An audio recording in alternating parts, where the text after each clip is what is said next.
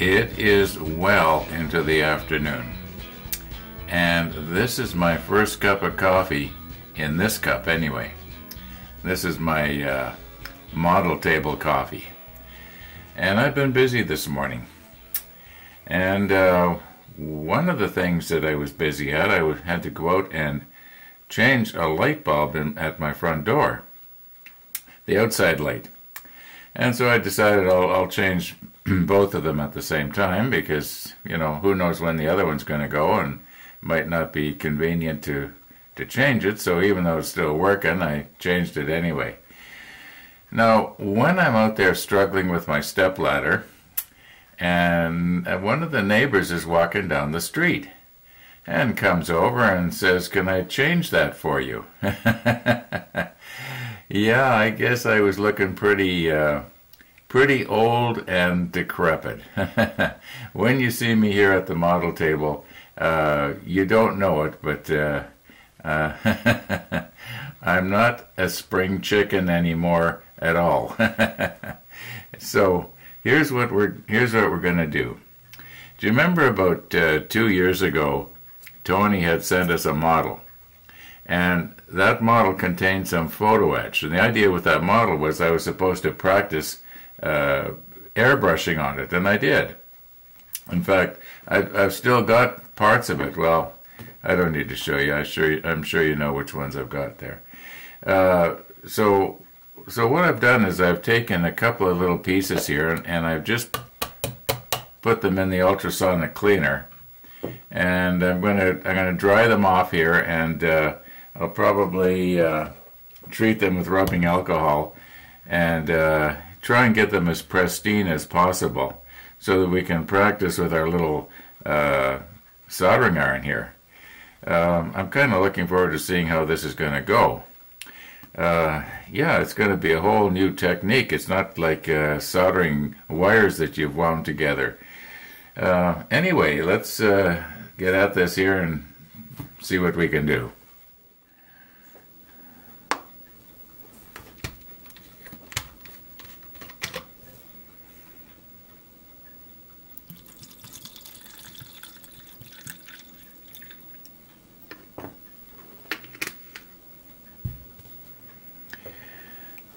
Now, I've got four pieces here. And uh, one of them is kind of small. I'm not seeing it.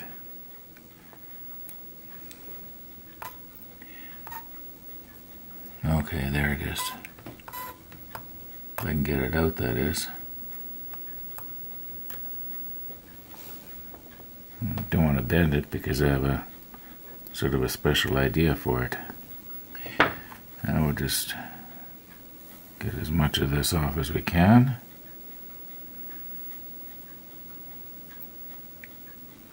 I'm probably overdoing it. I usually do. Okay, now before that uh, Iwata airbrush cleaner uh, hardens on back into some sort of a coating, I'll try and get it to rinse off here.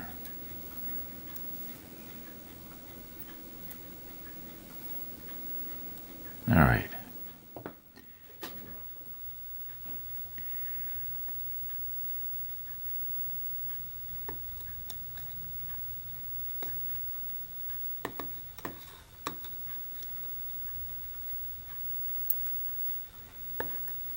Okay, this is isopropyl 99%.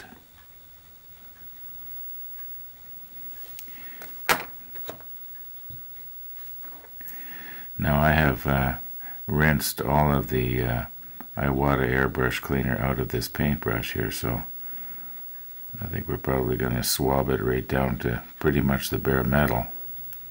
Although I, I am kind of seeing a, what you might call a bit of a, a residue.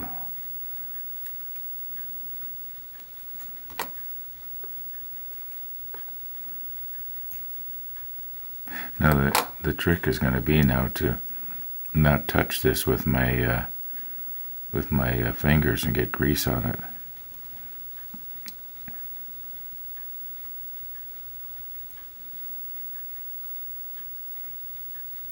Okay, that's about as good as we're going to get it, right? Okay, let's pretend that we want to, I keep wanting to say glue, we want to solder this little railing along the inside corner of this piece of metal photo etch. Something like something like this. Might have to straighten it out just a little bit. It looks like it's not at perfect right angles. Well, maybe for all intents and purposes, it maybe it is here. No, I'm going to try and straighten it. Don't know if I can here. I'm probably going to overdo it. Just give it a little squeeze. Maybe I'll have to do it off camera here. Now, don't touch it with your fingers.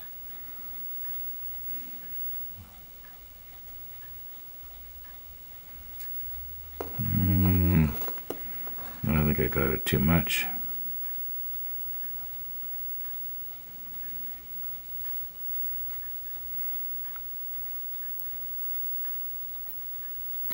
Well, that's going to have to do. Okay, we want to we want to solder it as, as close to the edge, the inside edge of this L bracket as we can. Okay, now what will be the best way to go about that? I've, I've sort of got an idea here.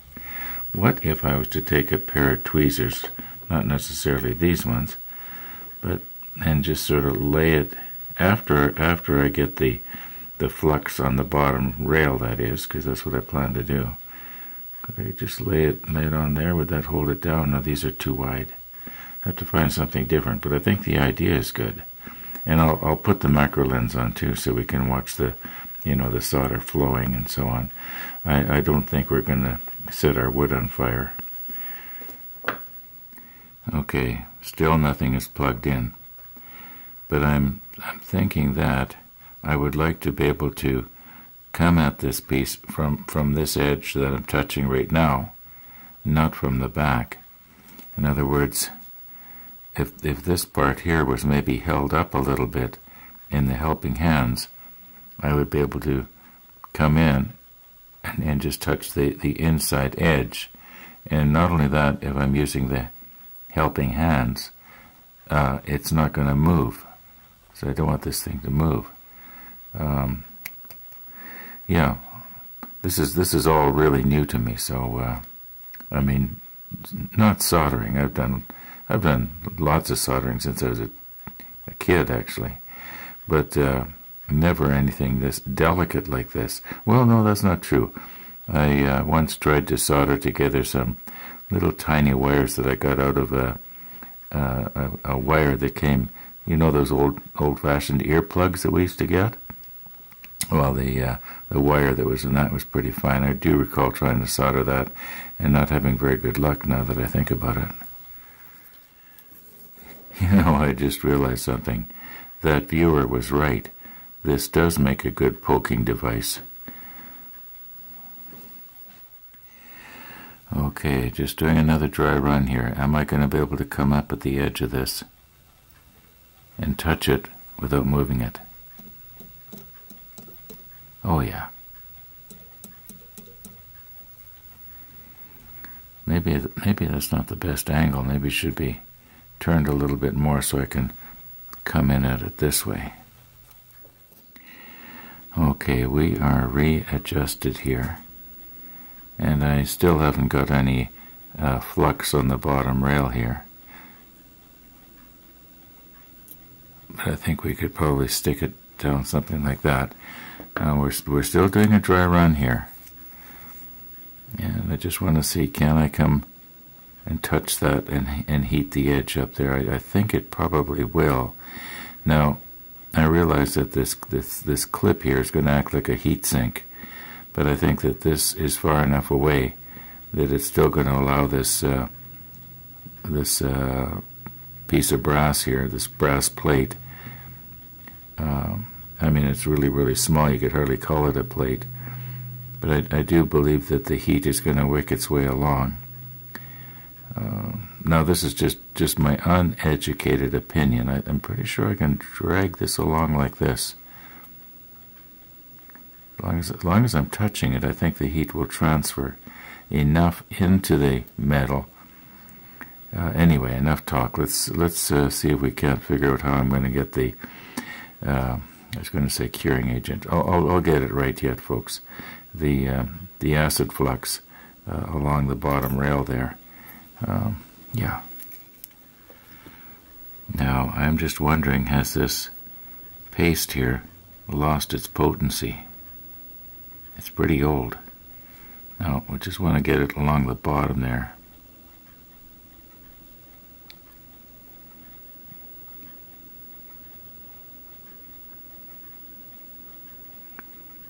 I don't want to be getting the paste, uh, you know, up the rails or up the posts rather, because if I do, the uh, I believe the solder might sort of wick its way. that's probably too much.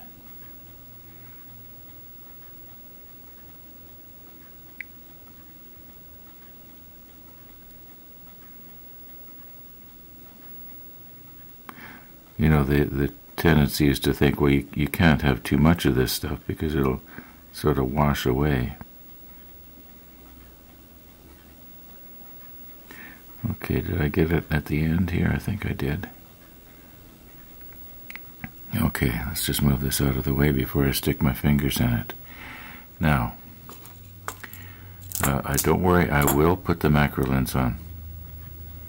Let's turn this down here. Don't drop it, don't drop it.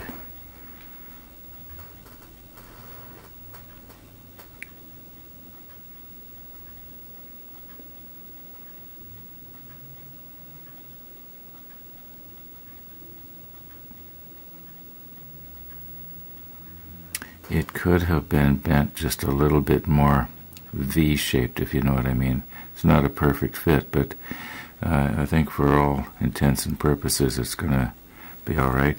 Um, we are going to use this uh, uh, solder that came with the uh, with the with the soldering iron. I have no idea what percentage it is. I don't know if it's 50-50 or 60-40 and or something like that. But we're just going to trust that it's going to work. And uh, I'll put the macro lens on now. Okay, we are plugged in, but I haven't pressed the A button yet, so it hasn't started to heat up. Now, I'm going to leave it at 300 degrees. Uh, Tony was recommending 350, and I got a feeling that it could well be that, that, that this piece right here is so large that we might have to increase it to 350. But let's just try 300, and if it doesn't want to work, I'll, I'll start out here at the end and uh, work my way around. Now the way I'm going to do it is, uh, I don't know if this is going to work, but I'm going to try and sample a little bit off of the end here, and and then hopefully it's going to it's going to stay on the on the tip. It it should. Uh, I'm noticing now my my tip I didn't tin it quite as well as I thought. It it doesn't tin the way the uh, other soldering irons did. But anyway, let's here we're going to turn it on here.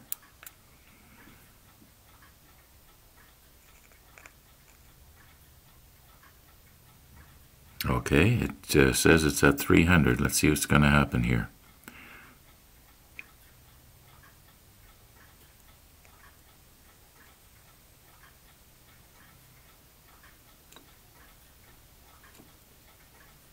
Well, smoking.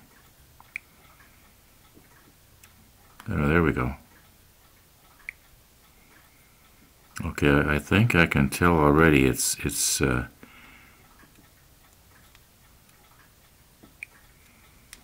Okay, uh, I'm gonna I'm gonna take Tony's advice and I'm gonna increase the temperature up to. Uh, well, let's just try it here, just for the fun of it. But it,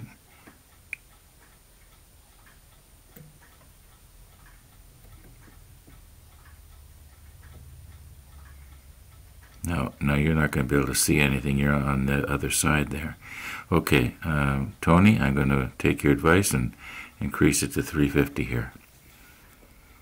Okay, we are at 350.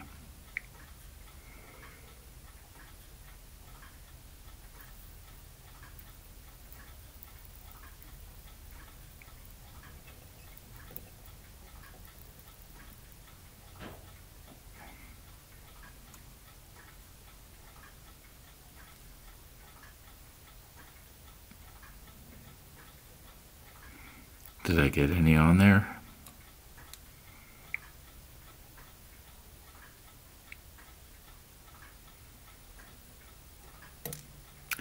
Wondering if maybe I should be using a. Uh, I think this is just too cold. It's just not flowing.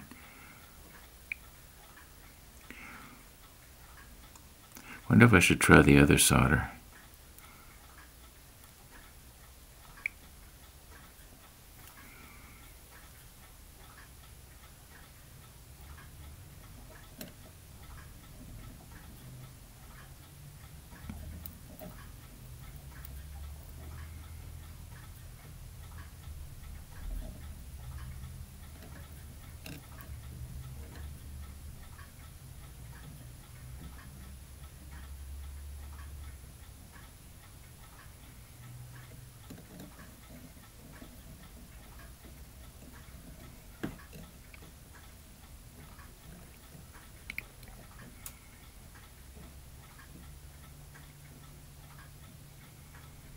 Well, it, it is soldered on there.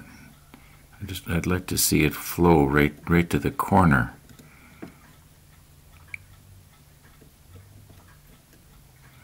I think possibly because this, this piece of solder is or this piece of brass is so large. Now maybe I can get this little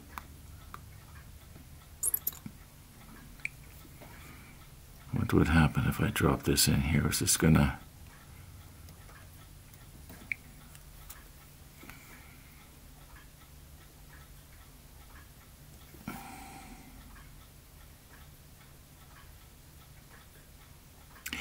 Okay, I am going to take and get my toothpick here and get some more flux.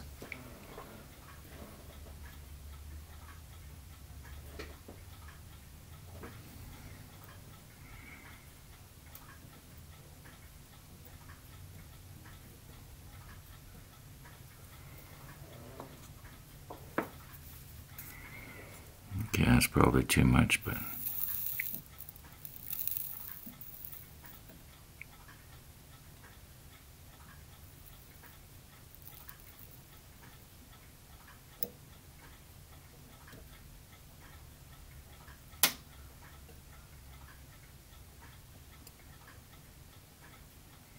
Yeah, they're starting to flow now.